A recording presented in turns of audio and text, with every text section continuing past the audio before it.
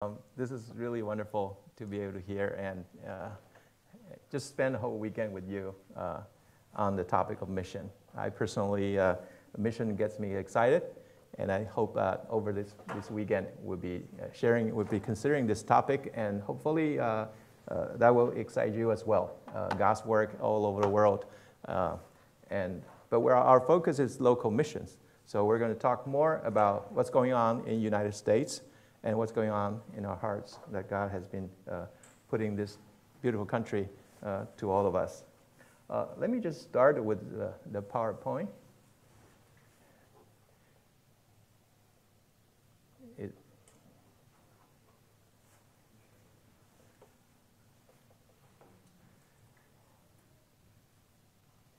is okay? Oh, okay. Okay, here we go. Yeah. Okay.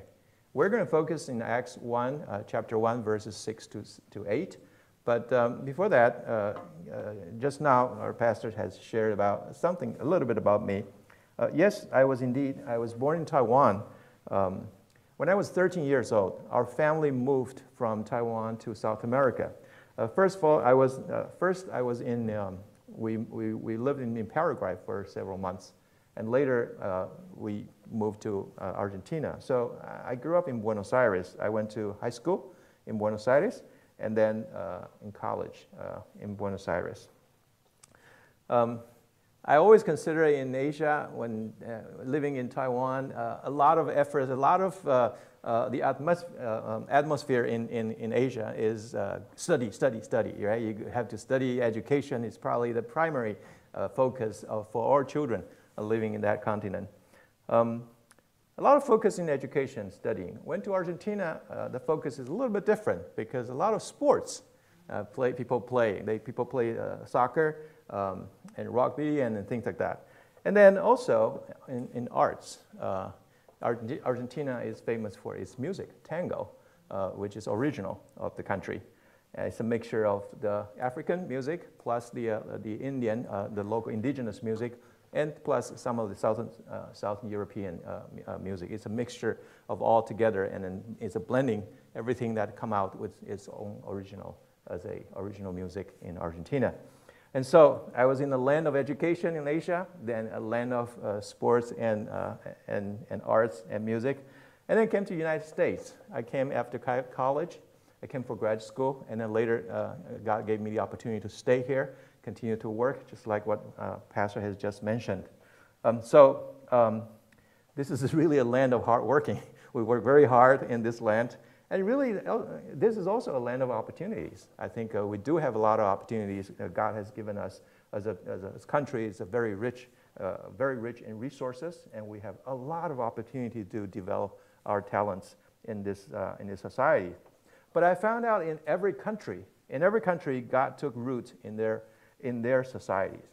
In every country has its own indigenous churches. Every country has its own way of worship, worship styles, and um, seeing Christian witnesses in all different fashions. We all become disciples of Christ, but different flavors. Some we're American disciples of Christ. There's Argentinian, South American disciples of Christ. We also have Asian disciples of Christ. And when I, when I consider um, Does it move? Or I have to turn on?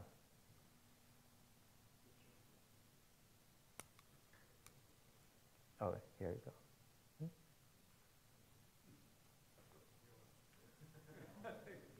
Did I turn it off?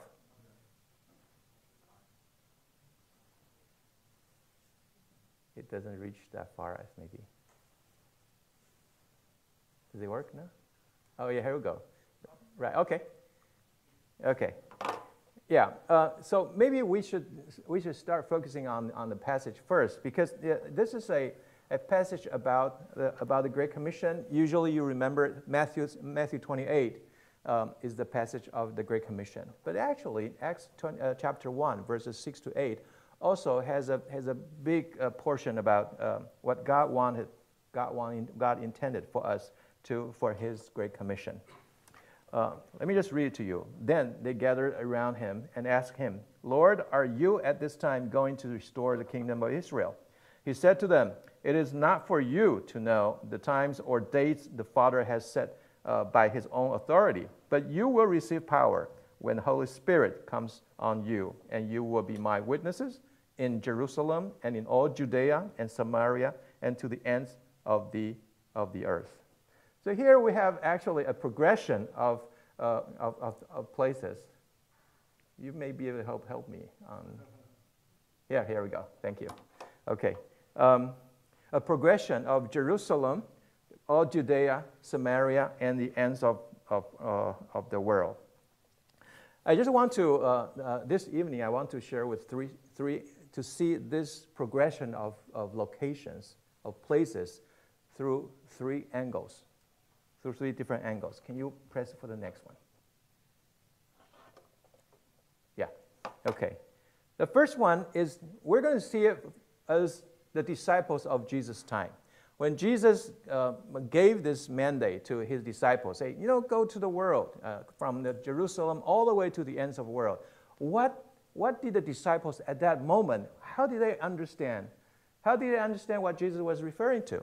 So this is, first of all, we want to see it through the angles, through the perspective of the disciples of that time. And second, we want to see it through the, the angles of the missiologists, the strategies for mission. All, the, all over the years in, in, in, in, in the church history, church leaders or, or the mission strategists, when they talk about, when they think about mission, when they saw these verses, what have they, what have they seen about how mission, how the mission of God should progress from one place all the way until the ends of the world? What does that mean for, for, for missionaries? But the third one is more theologians. The theologians, when they see this passage, they, they would see from a, the angle of the people, people of God. The people of God, well, who are they? Maybe from Jerusalem all the way to the ends of the world. How do they see, how do they, un, do they understand this passage? In other way, we can understand this first from a geographic perspective to understand these, this progression of locations. From, for the missiologist, we see it from a cultural perspective, the cultural distance. And then for people of God, we see it through a theological angle. Can you, we can go to next? Yeah. So let's start with the very first one. What did the disciples actually see this passage when, they, when Jesus was telling them from Jerusalem all the way to the ends of the world? Um, the, the task itself is to bear witness in, in order to, uh, to bear witness about what Jesus has done, what Jesus, who Jesus was, and um, yeah, and and this is black. Okay, all right. So we're going to focus on that. Uh, can you go to the next one? Okay. If you were a disciple at Jesus' time, when Jesus said, you know, go from Jerusalem all Judea, Samaria, all the way to the ends of the world. How did you understand? Well, Jerusalem is that black circle that I, that I put over there. And then Samaria is probably that, that uh, uh, uh, circle with the, with the brown, um, um, brown boundaries. And then all the way to the ends of the, of the world. For the disciples, um, they thought about, well, Jerusalem, if Jerusalem was the center of, the, of their world at that time, what is the center of your world? I, I, I live in New York, right? So in New York, when we talk about center, the, the, the point of reference, when we talk about distance from New York, we talk about from Central Park in New York. So from San Jose, I'm not sure where you, what's your, what's your reference point in, in, in San Jose or in this Bay Area? Is that Fremont? Okay. probably, probably. But any, any place, any place, we, we, if we consider things geographically, we always have a reference point. In New York, it's Central Park. In, um, in, in here, probably, uh, maybe, I'm not sure, Vermont, uh, uh, uh, uh Fremont or uh, for, for other places. But whatever, there is a center for the, for the disciples in Jesus' time. When they heard this, Jerusalem seems like is the center for them, is the, is the reference, point of reference. This is where they are. But then where is, where is Judea? Well, Judea is the the larger circle of, of, of Jerusalem. And then where is Samaria? Samaria is maybe toward the north, toward the, the outskirts of Judea. So it more or less is still in the area of, the, of, of today's Palestine. But then comes the idea of the ends of the world. The ends of the world. Where is the end of the world? In Jesus' time for his disciples. Well, Paul, for Paul, he has mentioned about he wanted to go to Spain, right? In the Bible, he mentioned about he wanted to go to Spain. For him, probably Spain is the, is the, the, the, the ends of the world. And then Spain, um, uh, in this case, is the, the other ends of the, of the Mediterranean Sea. So he wanted to go to Spain, and then he asked the, the church in Rome to support him. Eventually, he didn't go there, he didn't get that far. But for him, maybe the ends of the world, the ends of the world is Spain. Can you, can, uh, let, me, let me try this one now. Okay, okay, here we go. But later, or, or you may know that the, the Spain, uh, I mean, Spain actually is not the end of the world, right? Spain is not the end of the world. Actually, actually, if you continue to travel from the Mediterranean Sea, you get to Spain, and then further west, you can continue go, continue going, continue going all the way. There's more ocean, there's the Atlantic Ocean. And then what did you get? In, in, in, the, in the 15th century, the explorers they, were, uh, they continued to sail west.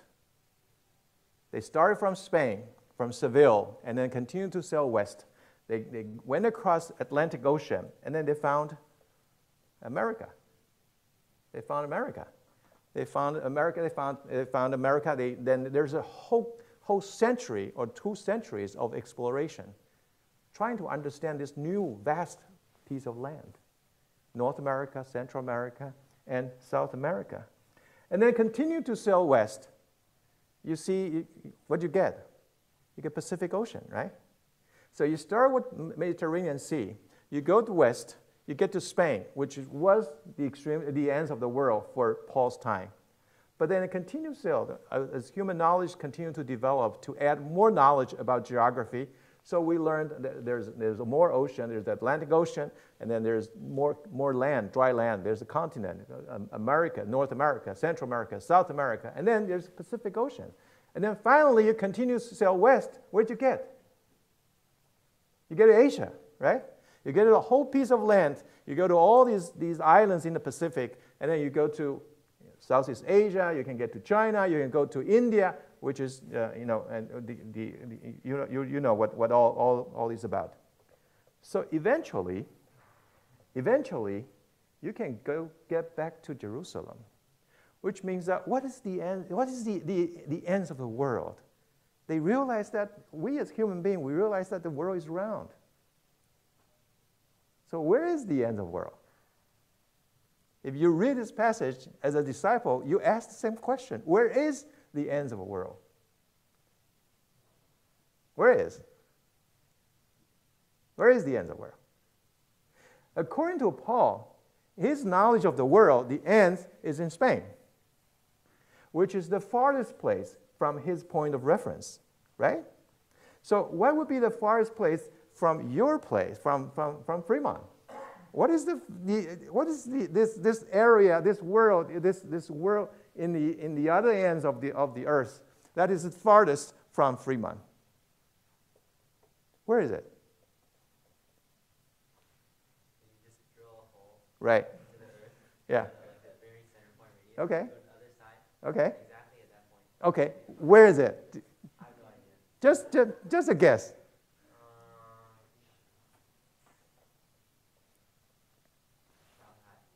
Shanghai. Where, where could it be? It's a few billion years that way. it's very far away, yeah. yeah. I thought in my home, I was, I was trying to figure out all these things. I thought, could it be South Africa? Huh? The ocean. Well, if, it, if there's any dry land, I thought it was maybe South Africa. Maybe from, from your place, when you fly, the farthest place, where could you be? From New York, I know to Singapore. Singapore, the flight is 18 hours nonstop, this, which is the farthest that I, understand, that I know. Uh, but uh, from your place, maybe go to South Africa, all the way. So this is a very far place. So what's the ends of the world? For the disciples back then, probably it's the farthest place from where they are. And Jesus was saying that, be my witness, bear witness, not only here, but also there, even to the farthest place from where you are. I was preaching in, uh, when, I, when, I was, when I was young, when I was in Argentina, I remember our small, our, our, our small Chinese church, they, you know, all the, all the uh, people used, used to say that we live in the ends of the world because Tierra Fuego, which is the southern tip of Argentina, actually the city, the city called Ushuaia is the, as, as, as people, have, people have claimed, this is the, the, the southernmost city in the world is closest to the South Pole, Ushuaia. So they claim that we actually live in the, in the ends of the world. But then in May this year, I was preaching in, uh, uh, in, in, Stockholm, uh, uh, Sweden. They were claiming that they are actually living in the ends of the world because they're closer to the North Pole. So whether you're close to the South Pole, to the North Pole, you think you're at the farthest place. But actually here, if you if, if we go back to the first century, we think about, we think about what would the disciples understand when Jesus was saying that you should be my witnesses from Jerusalem, all Judea, Samaria, and then to the end of the world. What did he mean? Or what, how could they understand? How could they understand what, what it means by ends of the world? The farthest place where they are. And so people make that question all the time over the history of Christian church people ask the question, well, if we, don't, we can't finish work in Jerusalem, how can we start ministry in Judea, in Samaria, or even ends of world? If we cannot even finish our work locally, how can we do it globally? The idea is that when Jesus said all these things, he was saying that you'd have to do it simultaneously. So there, is, there could be a massive amount of people from the church working locally because most people don't travel that much. But there will be selective people who God has called, and so for them to go further, to go the, to the, all the way to the ends of the world in order to reach, uh, to, to bear witness for Christ. We should be doing all this work simultaneously. At church, we should do it simultaneously. Maybe locally, we should mobilize our congregation to do it all together because that's where we have concentration of our members. But there are also selective people, a group of people who received a special call from God to go to the ends of the world, to the farthest place, in order to share the gospel, to give witness uh, uh, uh, for Christ over there. And that should happen in all churches, locally and globally. But there, there's another, another consideration for this idea is that how did the missiologists the, the mission strategists, they talk about this whole idea of mission uh, from Jerusalem all the way to the extremes of, to the ends of the world. I mentioned uh, these three people, um, Cameron Townsend, Donald McGavran, and Ralph Winter. Um, Cameron Townsend, he was, uh, a, he was working for Bible, Bible Society. Actually, when he was young, he was selling Bible in, uh, um, if I remember correctly, it was in Guatemala. He was selling Bible there. When he was selling Bible, uh, so he was selling Spanish Bible to all the people over there. But then one day he was selling the Bible to the indigenous people in Guatemala. And, they, and they, they for them, you know, this is a, a, language that for them is a, is a second language. Spanish is a second language. Actually, they have their own dialects as their own uh, indigenous group. So they told him, He, they said, uh, um, if your God is so smart, why can't he speak our language? Why do I have to read Spanish as, as his word? Why can't I read his word in my own language if your God is strong, if your God is, is smart? Can God speak the language of, that you use? Think about it. When you pray to God, when you pray to Jesus, how did he answer you? How did he answer? Did he answer you in English? Or he answered you with other language?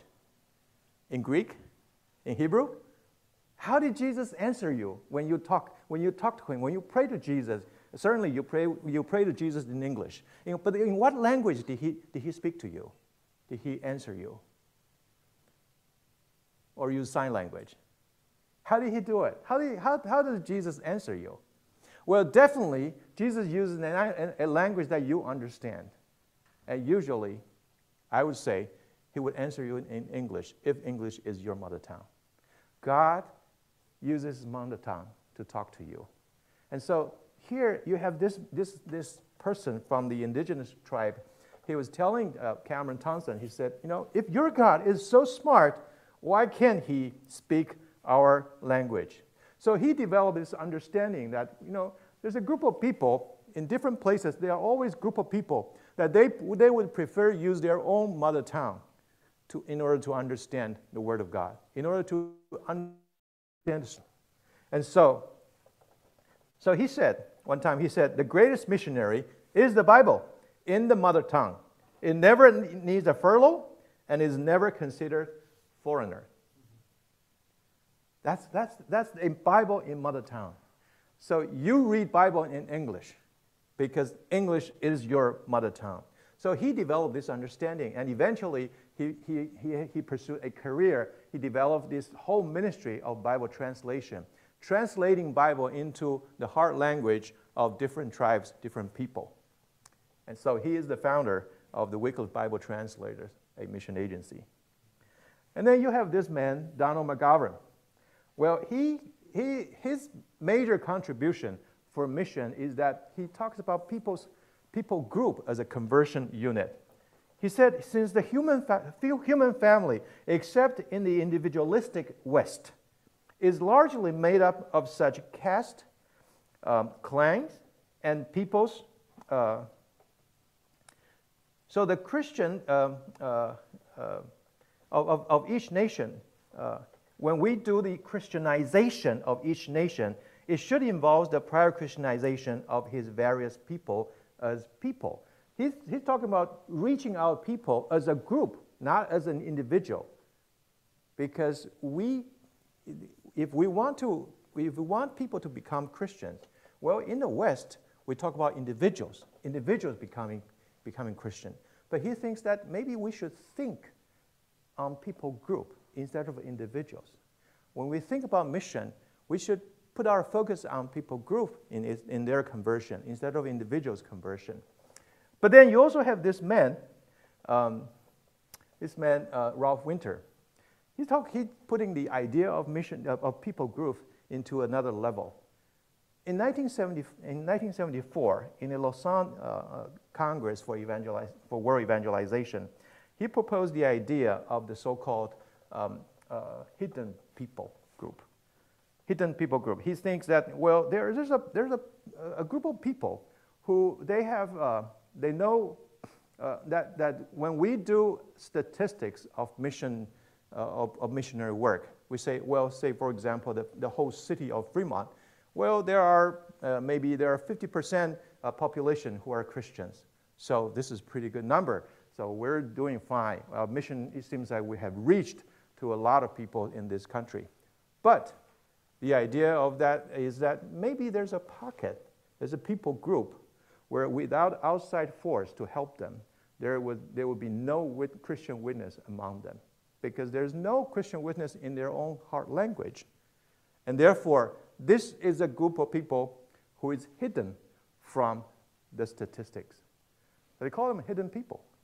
Eventually, later, people think about hidden people. The idea of being hidden is kind of like, it doesn't sound very very nice, almost like invisible people.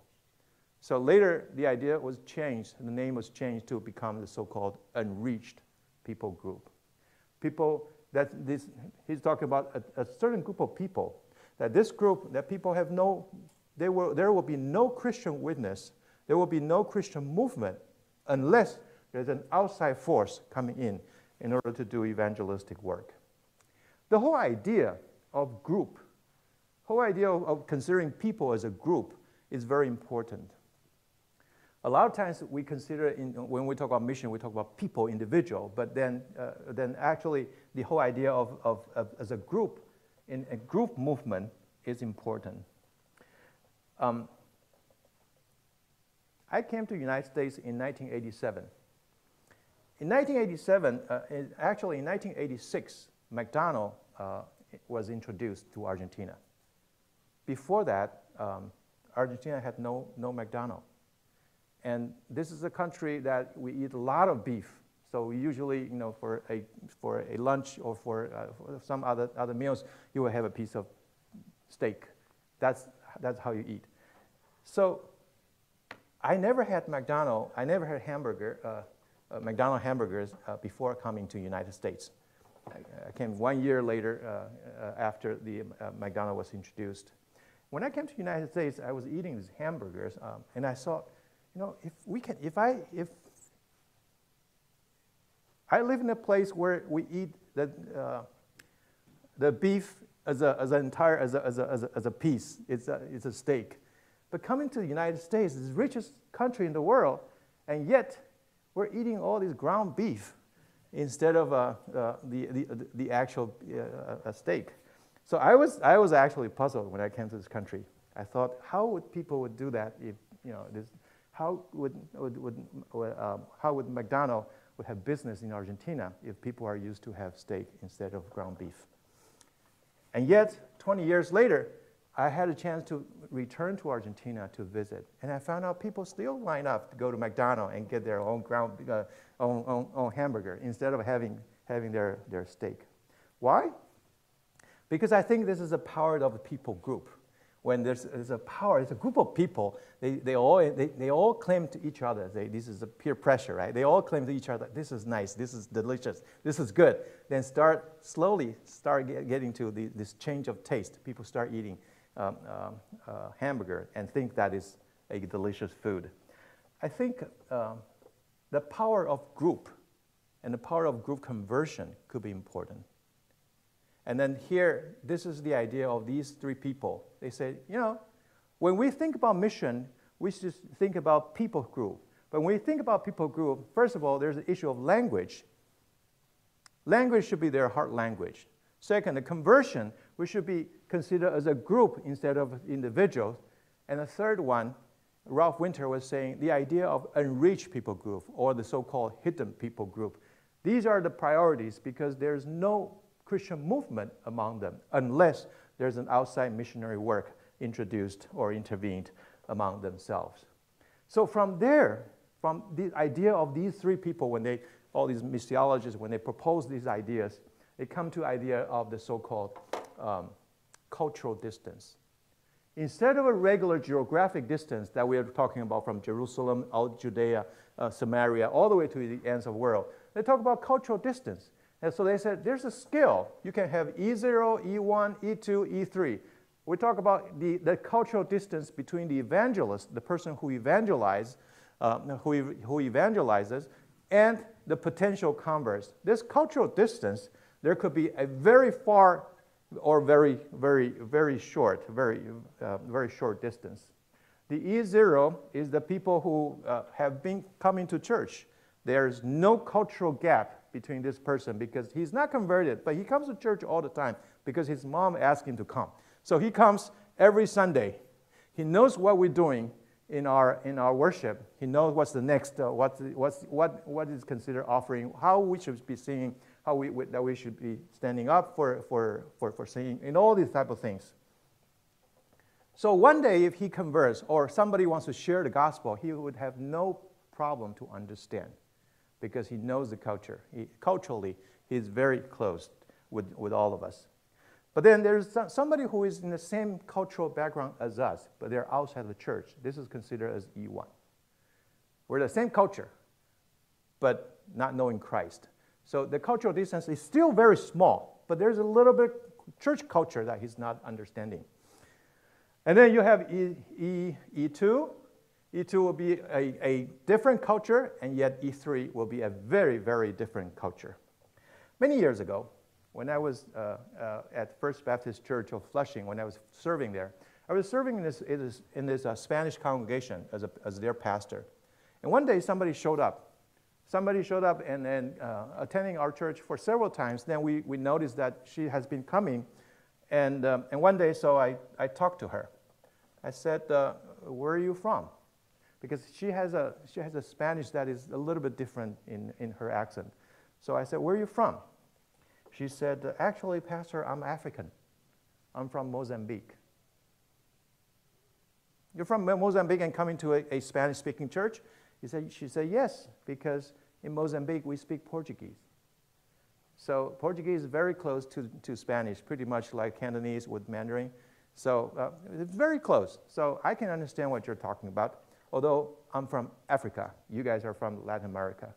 So this is the so-called E2. People have different culture, but they're close by because they can understand each other with their language, Portuguese versus Spanish, and also um, she, but she's from Africa, Uh, and the rest of the congregation, they're from Latin America. So there are different type of distance, but when we talk about cultural distance, there are the E0, no difference, no distance, it's very closest. And then you also have the so-called E2, E3, which has quite a bit of cultural distance among different people. If you see this world map, you're going to see that all these dark red color, it's more like uh, this is dark red color. There, uh, the, uh, that, that represents countries where Christianity is the number one religion, is the religion that professed by most people in that country. Christianity, I mean global Christianity. That includes uh, evangelicals, Protestant, uh, uh, Catholic, and even Orthodox. So these are the countries that has that are Christianity is mostly professed by, uh, by its, its population. And then you also have this, uh, this little block in the middle where you have other religions. These are the primary religion of these countries. In North Africa, in Middle East, and Central Asia, these, that is, that's Islam. Islam is the major religion for these regions, people of these regions. And then you have also, you have the dark, um, that probably is, is a dark green. That is India. So Hindu is the primary religion of India. And then you have this brown, brownish color that is mainly Buddhism. Buddhism is the primary religion for Mongolia and for Southeast Asia. You also have this, this yellow, which is unaffiliated in, in terms of atheist, that it would be a primary um, uh, way of thinking among the people in China. So these are the places these are the places where, where the primary religion is not the so-called global Christianity. Global Christianity represents in the rest, in North America, Central America, and South America. And then you have South Sahara um, Africa, you have um, uh, Australia, and the majority of Europe and, the, um, and Russia. But that's not all story, because uh, you can see that when, when, when Ralph Winter talks about the hidden people or the so-called unreached people group. Here we are. These are all the red dots. They're mainly represented in all these red dots area. So if you see that red dots area, it's more or less the same place where that, that, that the previous block is. Um, places where the primary religion is other than Christianity. That's why people call that as a 1040 window, latitude 10 to latitude 40 from Atlantic to Pacific. This is a place where you have a concentration of people who don't know Christ, who don't know Christian faith, and yet they're either followers of other religion or they're unreached because these are the so-called unreached people group or the hidden people. But that's not the whole story, because in the past 45 years until now, probably uh, 50 years, there's a big change on, on, on Christian populations in different uh, continents as well. This is a chart, this is a, a map where you can see that um, the, all the yellowish, uh, all the uh, orange color that represents actual reduction of Christian population in these places. All the blue ones that represents the increase of Christian populations in the past 50 years. So you can see that we in North America, how are we doing? We're not doing well. We're actually decreasing quite a bit. Uh, Canada, United States, Europe, uh, Western Europe, and Australia. These are places where actually we suffered a great reduction of Christian populations in the past 50 years as compared to other places. If I, if I, let me do this, it is a little more, more, more specific, that in the changes over the years, if you do some calculations, if you divide the world into Europe, North America, and Asia, Africa, and Latin America all combined together, you can see that, that back in 19, 1900, the majority of Christians in the world, they lived in Europe. A total of 68% of the world Christian population that lived in Europe. A 14% living in North America. And then a, another, you, you help me, uh, what's the number? 13 or 18%, they, they live in a combined Asia, Africa, and Latin America. That number continued to change. So in 1970, 70 years later, in Europe, well, now represents only 40% of the world Christian population, from 68% to 40%. And then year 2000, it continued to reduce to 28%. And today, mid 2023, actually it represents 22% of world population, world Christian population, uh, they live in Europe, down from 68% in the, in the turn of, uh, of, of 20th century all the way uh, to 22%. Continue on to 20, uh, 2025 will be 21%, and the projection is that 2050 will continue to reduce all the way to 15%. That's in Europe. North, North America, we're not doing that well either, because although we maintain from 14% to 70%, 13%, but then mid 2023, now we reduce to 10%, and then and then continue on. And 2050, we will go on all the way to 8%. We continue to decrease as well. The story, the different story is that, however, in Asia and Africa and Latin America, they continue to grow from 18% all the way until today's 68%. Uh, 68%. Uh, and then in 2020, uh, 2050, we will have about 77% of the world Christian population living in these three continents. So what does that mean?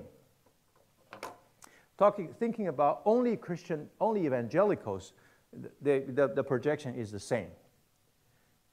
Okay, so in, in 1950, more or less 1950 is the turning point. In the past, in the past, Christians in Europe continued to grow all the way until 1950, then start to decline. For North America, similar story, although our, our rate of decline is not as fast. But then also in 1950, these three continents, Asia, Latin America, and, um, and, and Africa, the Christian population continued to grow and exponentially growing. The red, red line represents Africa. It's growing very fast. The yellow line represents Asia. And then, and then that, that, um, that, uh, that, that bluish, light blue line represents um, uh, Latin America. They continue to grow uh, starting from 1950, around that time. Now, there's another story because so we now we can remember now North America, Europe, uh, all its Christian population continue to decrease, but then Africa, Asia, and Latin America continue to grow, and yet there's an issue of migration. These three continents they continue to move people to the other continents where Christians are uh, Christian population is in decrease. So from Latin America, Africa, and Asia, they continue to move from these places to North America, to Europe, and to Oceania, to, uh, to Australia. So where are we now in the United States? In 2020, year 2020, we have a, a percentage of Christians, um, all these, these blue, blue color Blue color represents the, uh, uh, the, the so-called the, the, white, the white church. That includes uh, evangelical, that includes uh, the, the main line, that includes the, uh, the Catholic altogether. And then all the, all the, all the green, green color, that represents the, the African American church, the Hispanic churches, other Christian church represented in, the, in, this, in this country. But then all this brown color, this brown color uh, is a continually, continuously growing seg segment of our society. That represents our Jewish community, Jewish, Muslim, Buddhist, Hindu, and other religious group in this country. This is a group that, that has no knowledge of Christ because they profess to other religion. And then you also have this purple color. This purple color, this, uh, this 23%, this is a, a, a segment where you have a large percentage of population. They are not affiliated with any institutionalized religion. They claim to be spiritual, but they're not related to any, any uh, uh, institutionalized religion. The so-called nones have nothing to do with any religion uh, or, or, or any formal religions. That comes to another result of statistic. Um, these are the people of a mission organization called Global Gates. They, they're, um, it's an agency that started uh, in 2013, and they, uh, they, they work among the, the minority groups in this country where they, um, uh, they did some research and they, the statistic, and they said, well, the most unreached people group in North America where are they? Who are they? The, the way to classify a so-called unreached people group is that among them, among these people groups, there's a less than 2% of people who are Christians, who are evangelical Christians. And then, and then they consider, they found out that um, uh, uh, in order to be considered a group, they have to be represented at least with a population of 5,000 people. If you're fewer than 5,000, they're, they're, they're uh, statistically very, very negligible. So they have to be more than 5,000. And then they have to be, uh, in, in these groups, you have, you have, if you have less than 2% of evangelicals or non-evangelicals, they found out about 50% of all these groups, they live in three cities, in Toronto and New York, and also in Los Angeles. These three cities. The rest living in other cities in the United States. And then among them, 40 of them, 40 these groups, 40 groups, um, they, they are they're actually, um, there's, there, there's no church. And um, among them, it says 20 of them, there are no known Christians. There's no Christian at all among them. These are the so-called the unreached people group living in United States. In total, in total, there are about 274 groups in this country. So thinking about unreached people group, they're not far away from in other continents. They're in the United States because they're immigrants coming from these countries and they live among us. And they mainly they represent these uh, com, coming from they're, they're coming from these five religions. They're Jewish people. They're a Sikh religion, follower of, of Sikh, uh, Sikhism. Uh, they're Muslims. They're Hindus, and they're they're Buddhist. They're Buddhist. Among them, among them, uh, the majority of them, uh, they are Muslims, 41% of this population group, and then 31% they're Hindu. These are the largest group. You guys here probably see quite a few. Uh, you, should, you should be able to see a lot. Uh, they're living among you guys. They are living, they are your neighbor, they're your coworkers, and they may be your, your, your schoolmates as well. So these are the main primary people who are the so-called the unreached people group locally.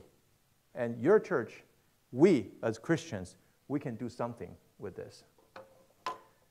The idea of these people, the so-called UPG, Unreached People Group in North America, we have, we just said, we have 274 groups in the United States. They are unreached because their original country are unreached. They, most of them, they come from the so-called 1040 window that I have just mentioned previously. So there's a, there's a certain level of correspondence between these two. There's a so-called the transnational ties between those two. So if you reach out to these people in this in the United States, there may be some connection that they will have they will be able to do it with their own home country, which in a lot of countries you have no access as a missionary. So this is an opportunity that God has given to us that we should be able to take advantage of it. Significantly, New York, Toronto, um, Detroit, Los Angeles, and Montreal, these are the major five cities where you have a concentration of all these people. But San Francisco and Bay Area is not, is not uh, uh, uh, out of picture either. You, your area, you have a very large percentage of these of, the people represented by these four, five religions that I, just, that I have just mentioned. You can see that this world has changed. The idea of Christian mission also has changed. We live in a different world now these days because the world has come to us. In the past, we think about the, the ends of the world is the farthest place from us, we thought. And then people told us, well, but there's a distance. We can also, instead of considering geographic, geographic distance, we can also consider cultural distance. If that were the case, then people with very different cultures, they are the, the ends of a world. The issue is that today, these people, they have moved in our midst. They have come to our country. They, they, they have become part of our population. They have become a sector which is so isolated without a Christian witness from outside, they cannot, they cannot come to Christ. And so we have daily contact with them today because they're our neighbors, they're our coworkers, and they are also our, our classmates. So we are the one, not the missionaries, not the professional career missionary having contact with them. We, as member of the church, we have the first contact with, the, with all these people. So God has given us the opportunity to interact with them. What will we do?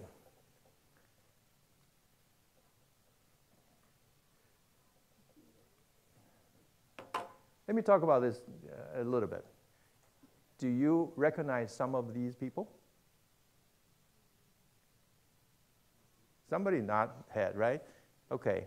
Well, who is the one on the right hand side? Messi, right? Messi. He's the soccer player, current soccer player, playing in the United States as well. And so he's, he's, he led Argentina to win the World Cup in 2022. Who is the one in the middle? Anybody of my age probably remember. Maradona, that's right. Maradona is the, the one in the middle. So he led, he led Argentina to win the World Cup in 1986. So who is the guy on the left? Who is the guy on the left? It's probably hard, uh, except Monica. I'm not sure if Monica you can figure out. His name is Mario Kempes. Mario Kempes, he's the, uh, he's the, the, the, the soccer strikers that led Argentina to win the first World Cup in 1978. So all these three, they are the, the stars for Argentina's uh, national teams.